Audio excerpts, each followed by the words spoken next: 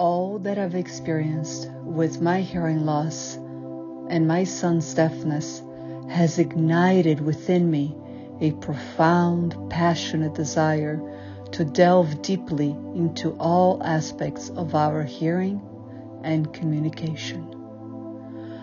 Throughout this journey towards self acceptance, as I sought out individuals with whom I could connect and pursued advocacy and representation, I went through many emotional stages, such as denial, sadness, hope, courage, anger, strength, and love.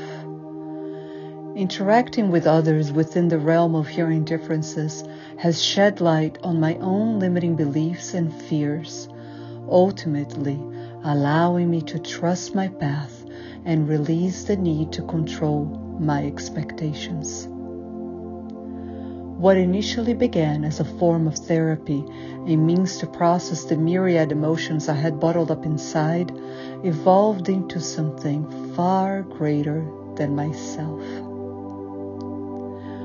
While connecting with adults and children who are deaf and hard of hearing, I began to incorporate their stories into my mixed media art world, a collection I've named MyLuckyEars.